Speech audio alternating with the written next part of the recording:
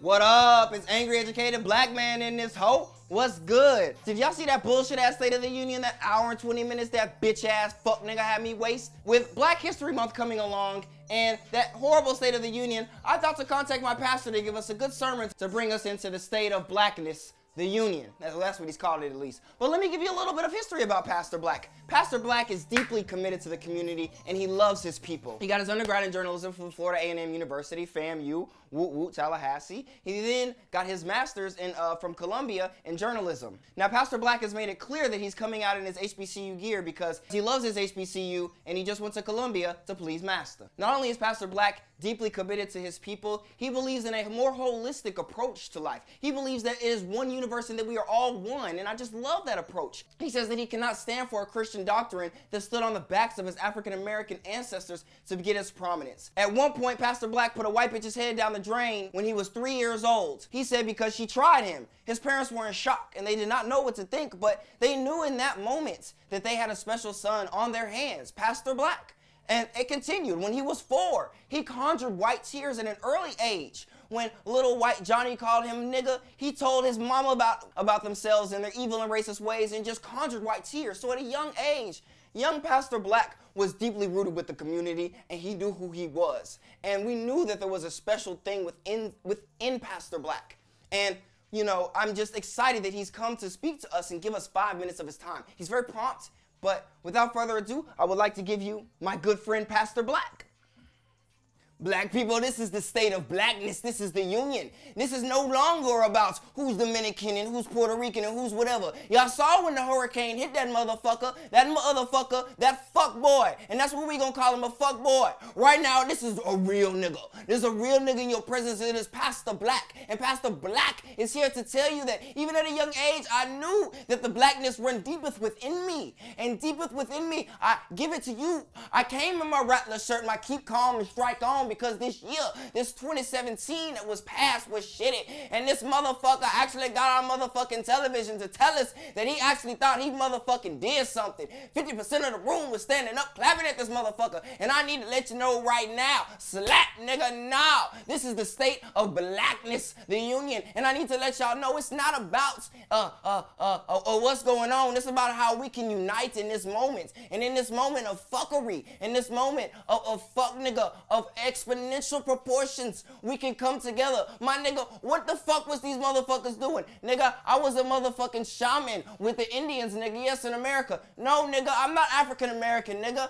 I'm American, nigga. I was on this land when these motherfuckers came here. My ancestors, ancestors, ancestors was here, nigga. I'm American, nigga. I don't know what the fuck you talking about. And the Americas include all of North and South America, all of my brothers and sisters, everyone.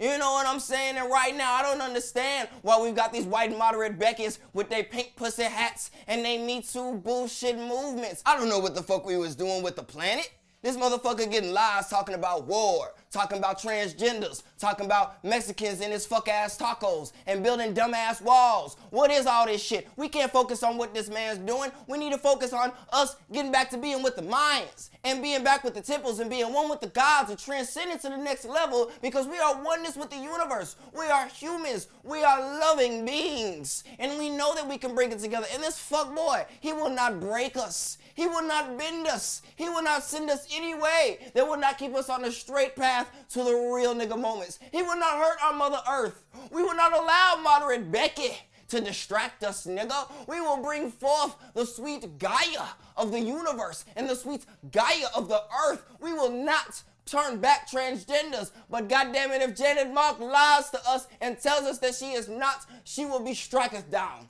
I don't mean striketh down in the sense of being hit, but striketh down in a figurative sense because of the lies that she told. We will not tell lies. We will be straightforward and forthcoming because we are about the people. We are about uniting black people because this is the state of the black union. And what else would we be doing unless we didn't love our brothers and sisters? Our brothers and sisters everywhere affected by the hurricanes, affected by the, the racism, affected by the oppression, affected by the discrimination everywhere, my nigga. We just have to come together. One is blackness. And that means anybody who's experiencing oppression. That means if you gay and somebody beating on you, we here for you, my nigga. We right here. You come to the angry educated black man and he gonna tell you to keep calm and strike on because he a real nigga. And a real nigga's gonna hold you down because Pastor Black knows that what's going on in the United States right now, it ain't right. It ain't right, and we don't give a fuck. We don't give a damn, and we gonna do something about it, man. I'm, I'm, I'm here with the congregation. You know what I'm saying? I had to get my black Southern pastor voice because you know that's that's all I know. You know, I came from that Southern Baptist. You know, I was myself discriminatory and I was oppressive, but you know, I've grown. I've become older, and I have learned. And I know and I have faith that people can do that as well. But 30% of y'all motherfuckers gotta get on the boat and y'all gotta get the fuck out of here because your stands on the backs of my ancestors and your stands on the backs of doing nothing for a long ass time and you need to get off your heroin and your opioids and you need to take your ass on a boat and find yourself an island and go kill and do whatever the fuck y'all wanna do on your wild ass island. Cause I don't give a fuck and I don't wanna see y'all motherfuckers. And what did I say? We don't give a damn and you don't give a I mean I don't give a damn and we don't give a fuck, nigga. What's good? You know, is my time up? No, I still got, look, but look, I still got 24 seconds. But most importantly, like I said, we just must come together, and that's what's most important. And I am Pastor Black, and I want to thank the Educated Black Man for allowing me to get on here and spit my knowledge and my wisdom and my oneness. And I believe that we can come together and we can be shamans and we can love each other and be of the earth and be of the, the universe and become one. Become one, nigga. That's all I'm asking for us to become one. You know what I'm saying? Just be loving and, and, and, and, and, preaching and, and, and, and, and having with one another. You know what I'm saying? You know what I'm saying? I can't keep talking because my time is up. My time is up and I'm not going to be a nigga. I'm not gonna be a nigga today, even though my rhetoric may have been quite niggerish. I don't give a damn. And we don't give a fuck. All right. And I'm dangerous. Smith and Wesson.